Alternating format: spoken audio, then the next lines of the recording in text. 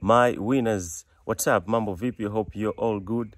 Okay, um, I've got these questions several times zinaulizwa watu wengine wako nje ya Tanzania, wengine wako ndani ya Tanzania, lakini they are all complaining uh, once umelipa matangazo au umeboosti matangazo ya Instagram ama Facebook, result inakuwa sio ile ambayo imetarajiwa.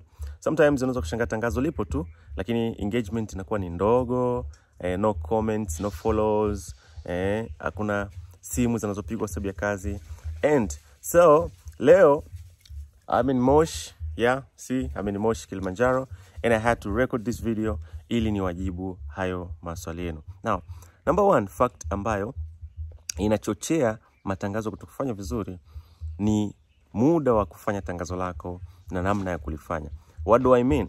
Muda wa kufanya na, na namna ya kulifanya inategemea muda gani umeposti tangazo lako. Kumbuka, sponsored ads inafanya vizuri sana kama data zimeshakuwa collected vizuri. Napomaanisha data kuwa collected, nasema hivi, ukiposti tangazo lako litafikia baadhi ya watu, litafikia eh, baadhi ya, ya, ya followers wako na watu wengine. Instagram ama Facebook wanatumia zile data kujua ni mtu gani mwingine anaweza kufikiwa na tangazo lako ambaye anavutiwa nalo. Hawawezi kumpelekea kila mtu tangazo lako, wanaangalia mtu ambaye anaweza akashawishika na lile tangazo lako kulingana na ile idadi ya watu au aina ya watu ambao wameshiriki kwenye tangazo lako. Kwa hiyo unapoposti tangazo lako, unapoposti posti yako, usipromote hapo hapo. Give yourself, give yourself some time uh, ili data zijikusanye. Mara nyingi kama unataka kupromote, acha walau 72 hours ama 48 hours kama uwezi kabisa. After that ukipromote, kuna a bit, uh, little bit changes kwenye matokeo yako tofauti na ukipromoti hapo hapo. Right. Now, factor namba mbili inayosababisha matokeo kutokuwepo ni fakti ya setup ya tangazo lako. Watu watu wana interest, watu wanavutiwa, watu wana dislikes, watu wana likes, watu wana yeses, watu wana nos.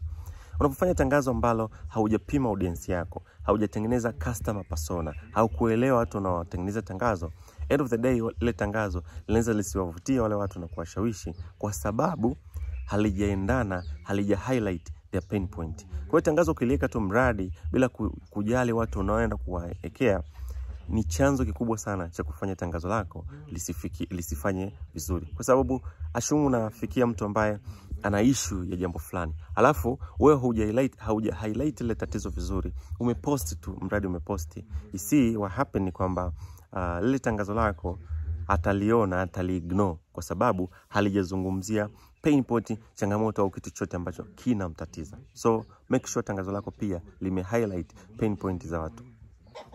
Namba tatu ni kwa active account na in, inactive account. Active account na inactive account. Sasa hivi uh, kama account yako iko active, tangazo litafanya. Kama iko inactive, inactive maana yake tofauti inactive na disable. Inactive ni kwamba akaunti ipo active lakini malipo hayajakamilika, kwa hiyo inakuwa inactive. Mara nyingi inatokea wanakuambia insufficient fund au inakuambia labda try hold fund failed. Kwa hiyo haya, hizi ni fact ambazo zinafanya account inakuwa inactive, pia itasababisha tangazo kutokufanya vizuri.